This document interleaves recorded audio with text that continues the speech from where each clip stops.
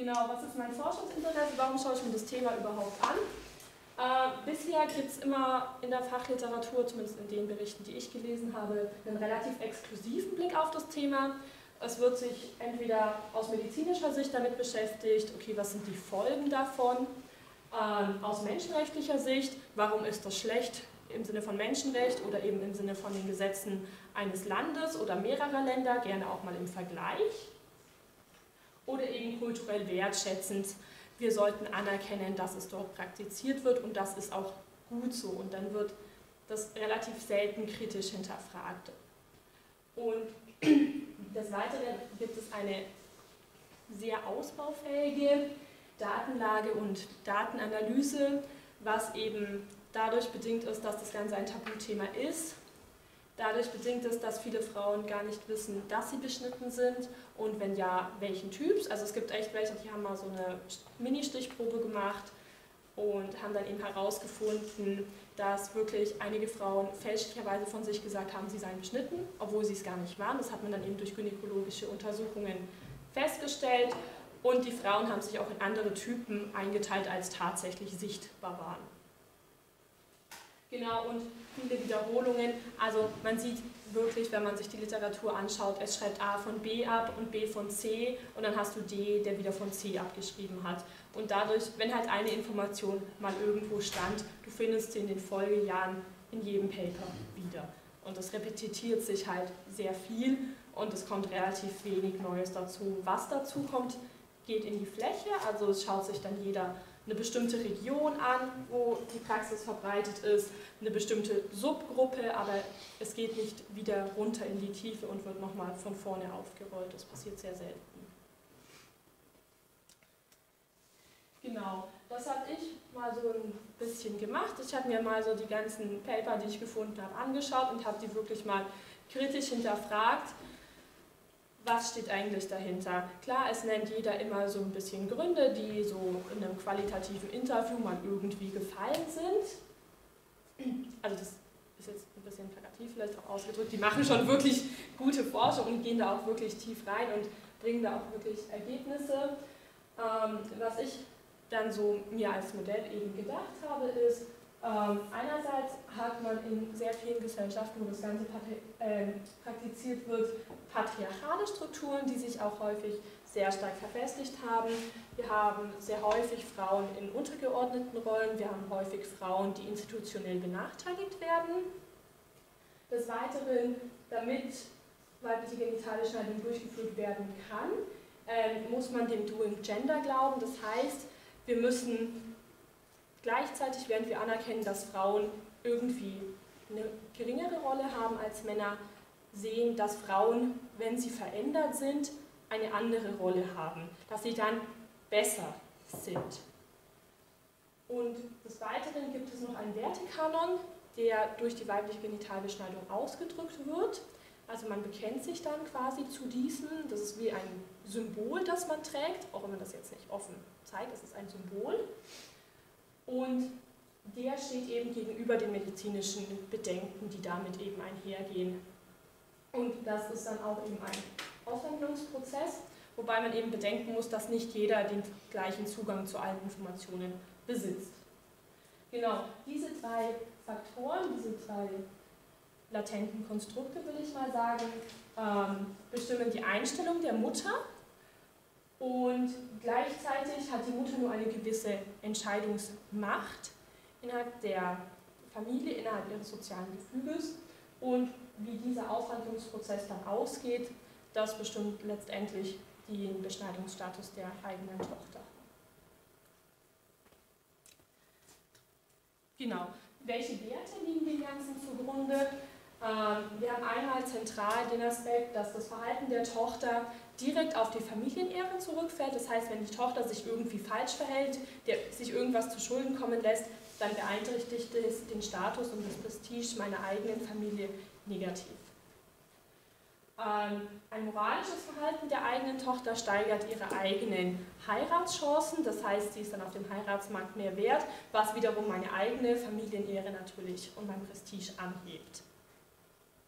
Die Heirat ist in vielen Gesellschaften einer der wenigen Mittel zur gesellschaftlichen Integration von Frauen, wie sie sich eine Existenz außerhalb ihrer Herkunftsfamilie aufbauen können, weil sie eben institutionell sehr stark benachteiligt sind, in der Bildung sehr stark benachteiligt sind und auch sehr häufig auf dem Arbeitsmarkt.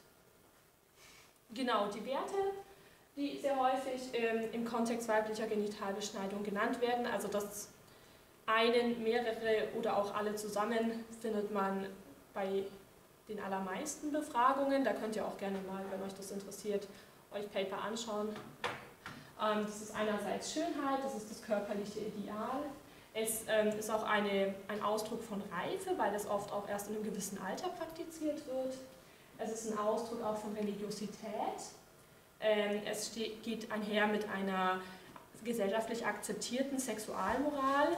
Es lässt einen eintreten in den Status der Heiratsfähigkeit. Es ist ein Symbol für Fertilität.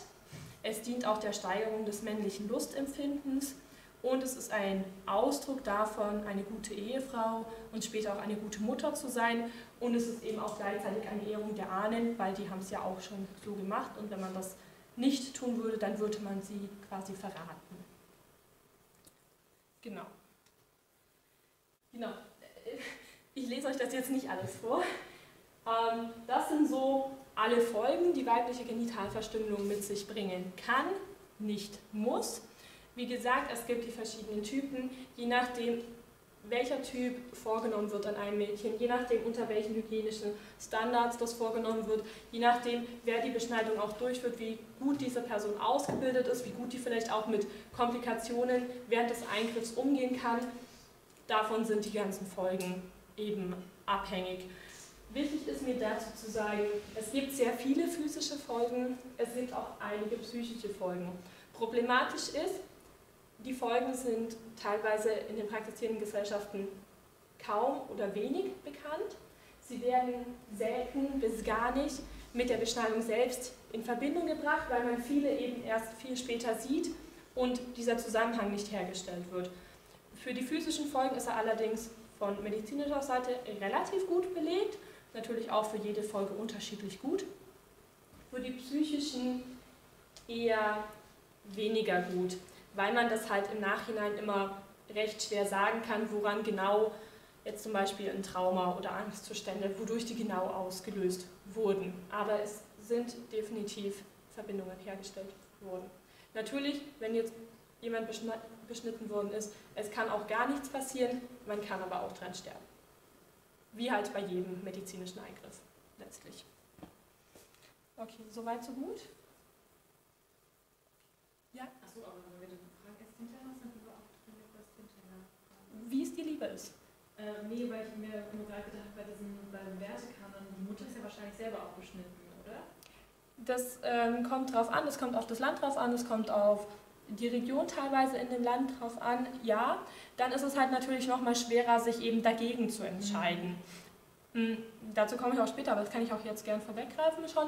Also man sagt so, der beste Schutz einer Tochter vor eigener Genitalbeschneidung ist, wenn die Mutter nicht beschnitten ist.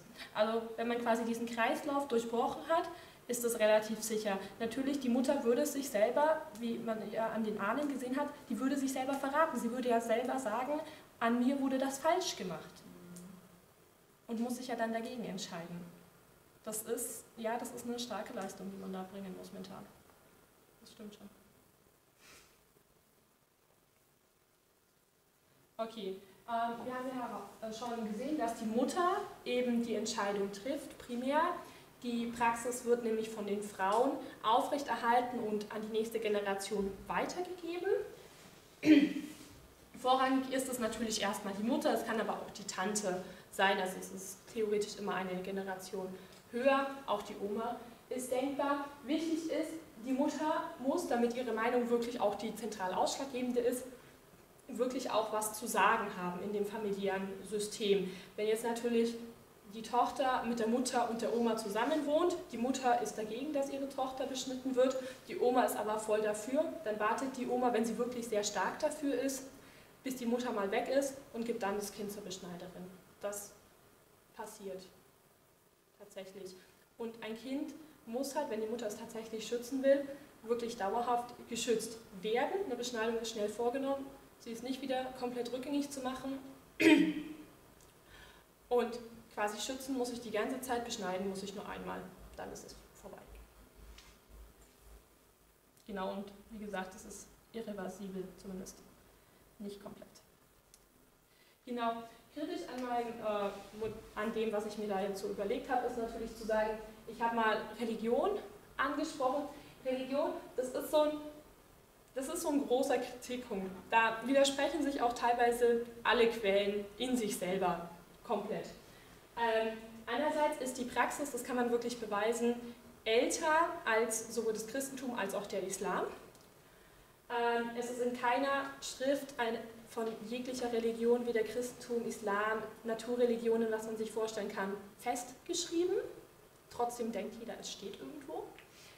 Ähm, genau, was in Ägypten jetzt ziemlich interessant ist, in Ägypten hat man eine kleine christliche Minderheit, das sind größtenteils koptische Christen, und vor einigen Jahren hat sich der koptische Papst gegen die Beschneidung ausgesprochen und hat da quasi ein Machtwort gesprochen. Und seitdem ist die Praxis eben unter Kopten ähm, komplett zurückgegangen. Die nehmen das nicht mehr vor und grenzen sich dadurch eben auch aktiv von den Muslimen in ihrem Land ab während bei den Muslimen es von Imam zu Imam unterschiedlich ist, wie er sich dazu positioniert. Das heißt, da ist mehr so dessen persönliche Meinung auch noch wichtiger. Genau, was man aktuell beobachten kann, ist, dass ein Trend hin zur Medikalisierung geht. Das heißt, ähm, es kommt langsam wirklich auch in der Bevölkerung an oder in den Bevölkerungen, ähm, dass es gesundheitliche Risiken birgt und deswegen geht man jetzt immer öfter zum Beispiel in ein Krankenhaus, um dort den Eingriff vornehmen zu lassen. Teilweise von Ärzten, teilweise von traditionellen Beschneiderinnen, die in ein Krankenhaus gehen, falls es eben zu Komplikationen kommt, damit besser und aktiver geholfen werden kann. Und was auch zu beobachten ist, was auch mit der Gesetzgebung in den letzten Jahren zu tun hat, ist ein immer jüngeres Beschneidungsalter, weil erstens jüngere Mädchen oft noch nicht so gut von ihren Rechten Bescheid wissen und zweitens sie sich nicht aktiv daran erinnern können und somit keine Zeugen vor Gericht sein können. Das ist, also das ist wirklich zu beobachten, dass das durchschnittliche Beschneidungsalter, wenn man Surveys vergleicht, immer weiter sinkt. Genau. Ähm, ich schaue mir das Ganze in Ägypten an. Ägypten ist durch ein sehr starkes Stadt-Land-Gefälle geprägt. Also wir haben große Städte und weite Flächen auf dem Land wo natürlich dann auch ähm, unterschiedliche Informations- und Lebensstandards herrschen.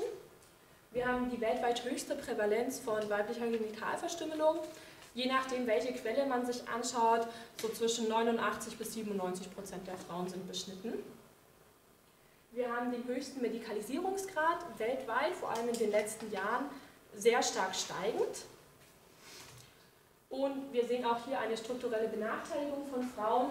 Sie fallen häufiger aus der Bildung raus, vor allem in frühen Jahren als die Männer.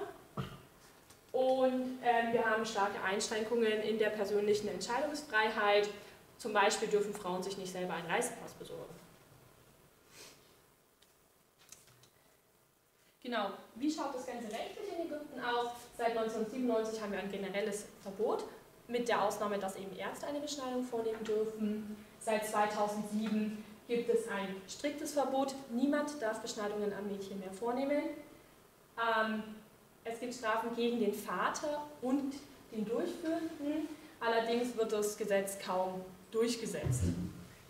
Genau, und 2012 gab es die erste UN-Resolution gegen weibliche Genitalverstümmelung vom der Generalversammlung. Es gab schon vorher von der WHO eine, aber die war von der kompletten Generalversammlung. Das heißt, zusammenfassend kann man sagen, die ganze Praxis ist sehr umstritten, auch in den durchführenden Ländern, und die Gesetze ändern sich regelmäßig. Genau. Welche Frage leitet mich bei meiner Forschung? Ähm, ich frage mich, welche Zusammenhänge existieren zwischen den sozialen Faktoren, der mütterlichen Entscheidung und der Weitergabe der Praxis an die Töchter. Das wird jetzt erstmal ein bisschen verwirrend, glaube ich. Genau, mit welchem Datensatz widme ich mich dieser Frage? Ähm, ich schaue mir den Demographic and Health Survey an. Der ist von den USA entwickelt, USAID heißen die. Und wird in vielen Ländern der Welt durchgeführt, zum Beispiel auch in Ägypten. Ähm, es ist ein Querschnitt, wird aber in mehreren Jahren durchgeführt. Und zwar schaue ich mir die Jahre 95, 2002 und 2014 an. Er beinhaltet jemals verheiratete Frauen, also auch solche, bei denen der Mann gestorben ist oder die geschieden sind, die zwischen 15 und 49 Jahre alt sind. Genau, und die haben jeweils neue, überarbeitete Codebooks. Manche Fragen fallen raus, neue kommen hinzu. Das macht das Ganze noch ein bisschen schwieriger. Ich habe euch jetzt ein bisschen ähm, erstmal allgemein, wie sich die Zustimmung der Mütter verändert hat über den Zeitraum hinweg. Das sehen wir hier einfach als Quote und da sehen wir die, die Zustimmung zur weiblichen Genitalbeschneidung von 95 bis 2014 ab. Genau. Jetzt widmen wir uns mal nur dem 2014er, weil dadurch, dass die eben immer unterschiedliche Codebücher verwenden, ist das eine Heidenarbeit, immer die jeweilig richtigen Items herauszufinden. Genau, was sehen wir hier? Ich habe euch mal ein paar univariate Analysen mitgebracht. Wir sehen hier links oben unter A, da wurden die Mütter eben befragt, soll ihrer Meinung nach weibliche Genitalbeschneidung fortgeführt werden? Ähm, hier unten 5000 äh, Frauen haben oder Mütter haben Nein gesagt und so ungefähr 8000 haben Ja gesagt. Das heißt, es sind immer noch mehr für die Fortführung als dagegen.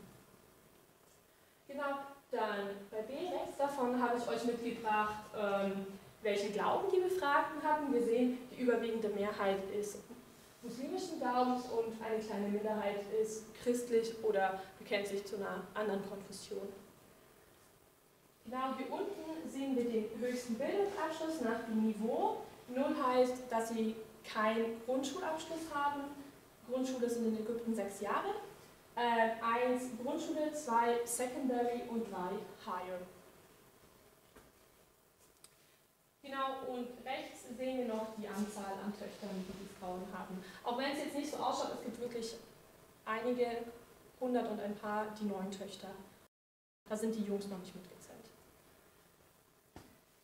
Genau.